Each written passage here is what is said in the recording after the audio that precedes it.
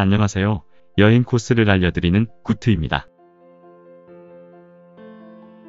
지난번 짤츠부르크 여행 코스 1편에 이어 오늘은 짤츠부르크 여행 코스 2편을 소개해드리겠습니다.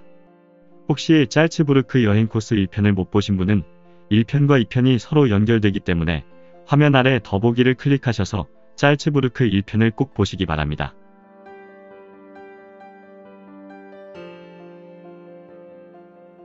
오늘 소개해드리는 여행 장소는 화면을 참고해주세요.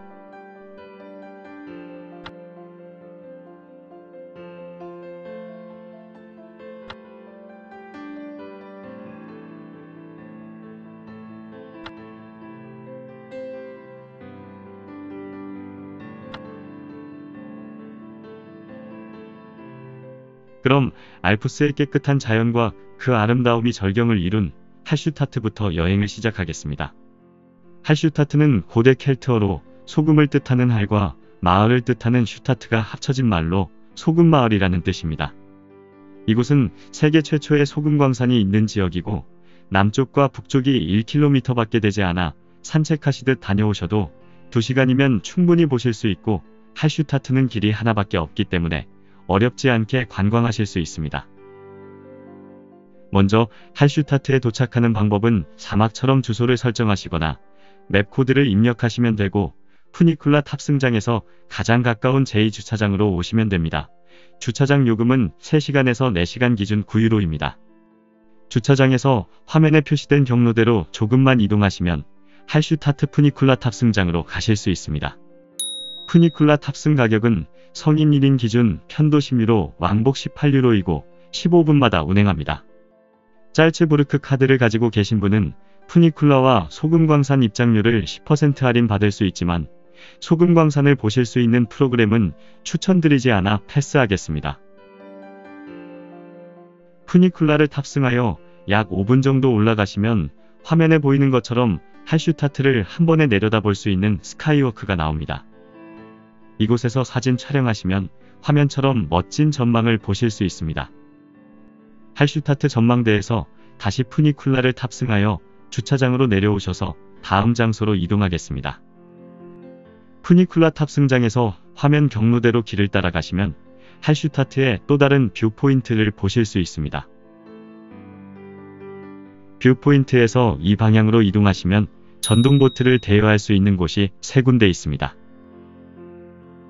보트를 빌려 호수로 들어가시면 할슈타트의 전체 마을을 보실 수 있습니다. 이 보트는 4명까지 탑승하여 약 30분 동안 누구나 쉽게 이용하실 수 있고 이용요금은 12에서 15유로입니다. 보트에서 내려 화면 경로대로 가시면 할슈타트 중앙광장이 나옵니다. 광장을 둘러보시고 다시 이쪽으로 이동하시면 할슈타트의 다른 전망을 보실 수 있는 viewpoint가 나오는데요. 이곳에서는 조금 전에 보셨던 마을 입구의 모습과 다른 경치를 보실 수 있습니다. 1997년부터 유네스코 자연유산에 선정된 할슈타트는 유럽의 초기 철기 문화가 발견된 장소로 마을의 역사는 1만 4천년이 넘는다고 합니다. 다시 지나왔던 길로 할슈타트 중앙광장 쪽으로 오셔서 점심 식사 장소를 추천해 드리겠습니다. 점심 식사 추천 장소는 기름 케밥을 판매하고 있는 카르메츠 케밥 카르트라는 곳입니다. 점심 식사하시고 처음에 주차해 놓은 곳으로 가셔서 할슈타트에서 자동차로 약 1시간 30분 정도 거리에 있는 샤프베르크로 이동하겠습니다. 샤프베르크로 이동하는 방법은 내비게이션의 도착지를 자막처럼 설정해 주시거나 맵 코드를 입력하시면 됩니다. 샤프베르크에 도착하셔서 이쪽 건물로 오시면 샤프베르크 정상으로 올라가는 기차표를 구입하실 수 있습니다. 기차 요금은 왕복 40.8유로이고 약 35분 동안 탑승하시면 되는데요. 스위스의 융프라우요흐처럼 기차를 몇 번씩 갈아타지 않아도 되지만 올라갈 때는 열차의 진행 방향 좌측에 앉으시면 멀리 호수와 함께 멋진 전경을 보실 수 있습니다. 이곳은 꽃보다 알베 프로그램에 나온 곳으로 기차에서 내려 길을 따라 봉우리를 산책하시고 호텔 커피숍에서 차 한 잔으로 여유를 만끽하셔도 좋을 듯 합니다. 샤프베르크에서 다시 기차를 타고 내려와 처음에 주차해 놓은 곳으로 이동하여 자동차로 약 3분 거리인 장크트 볼프강으로 출발하겠습니다. 장크트 볼프강으로 가는 주소는 자막처럼 설정해 주시거나 맵 코드를 입력하시면 됩니다. 길을 따라 화면처럼 조금만 이동하시면 마을을 중심으로 작은 광장을 품고 있는 장크트 볼프강 성당을 보실 수 있습니다. 이 성당은 829년에 처음 창건했으나 현재의 건물은 976년에 재건축한 건물입니다. 성당 옆 베란다에서 장크트 볼프강 호수의 경치를 보신 후 다음 장소로 이동하겠습니다. 다음 장소인 장크트 길겐으로 이동하는 방법은 자동차와 배가 있는데요. 모두 자동차를 이용하여 장크트 길겐으로 가시려면 내비게이션의 자막처럼 주소나 맵 코드를 입력하시면 되고 일행 중 한 분이 자동차로 장크트 길겐으로 가시고 나머지 분들이 배를 타신다면 화면 경로대로 선착장으로 가시면 됩니다. 시즌에 따라 배 운행 시간이 다르지만 성수기의 경우 오후 6시 출발과 비수기의 경우 오후 5시 출발이 마지막 배이고 요금은 편도 8.2유로입니다. 배를 타고 중간쯤 가시면 바위산을 보실 수 있는데 이곳은 코끼리 바위라고 합니다. 화면 오른쪽으로 코끼리 눈이 있고 바위산 전체를 보시면 코끼리 모양을 보실 수 있습니다. 그리고 조금 더 지나면 작은 섬이 나오는데요. 이곳은 옛날에 어떤 농부가 소와 같이 길을 가던 중 소가 무엇인가에 놀라 물에 뛰어들고 농부도 같이 호수에 빠지게 되었지만 소가 주인을 끌고 이 섬으로 올라와 목숨을 건지게 되었고 이에 감사하는 의미로 섬 가운데 보이는 기념비를 세웠다고 합니다.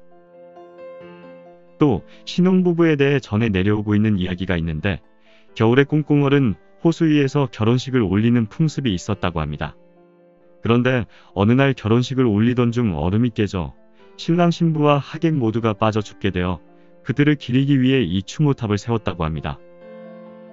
장크트 길겐 선착장에 내리셔서 오른쪽으로 이동하시면 모차르트 어머니의 집을 보실 수 있고 왼쪽에는 주차장이 있습니다. 모차르트 어머니의 집 1층 창문에는 모차르트의 사진과 2층에는 모차르트의 누나인 마리아 안나와 어머니 사진이 그려져 있습니다.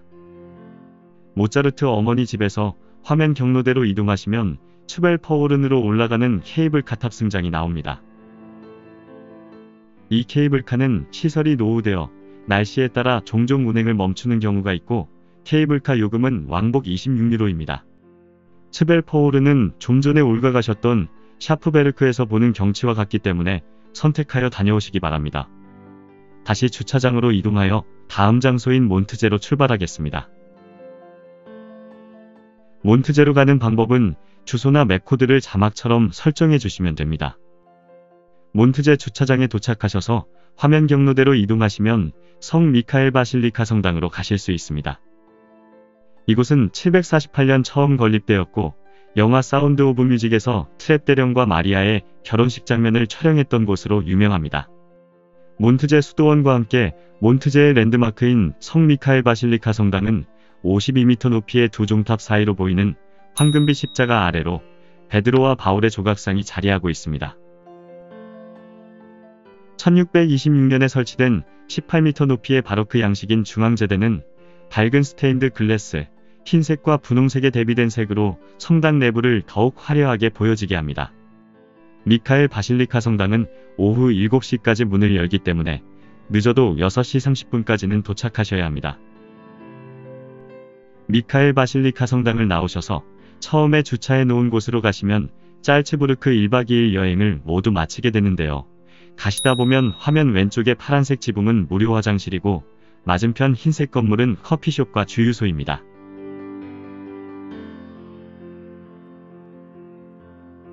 그럼 지금까지 짤츠부르크 1박 2일 여행하면서 경비가 얼마나 들었는지 계산해 보겠습니다. 여행 경비는 화면을 참고해 주시고 짤츠부르크 카드를 구입하시면 짤츠부르크 시내권과 하슈타트까지 효율적인 금액으로 관광하시는데 많은 도움이 되실 겁니다.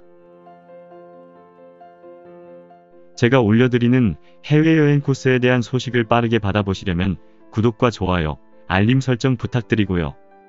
다음 시간에는 음악의 도시이자 문화와 역사의 중심지인 오스트리아 비엔나 여행 코스를 자세하게 소개해 드리겠습니다.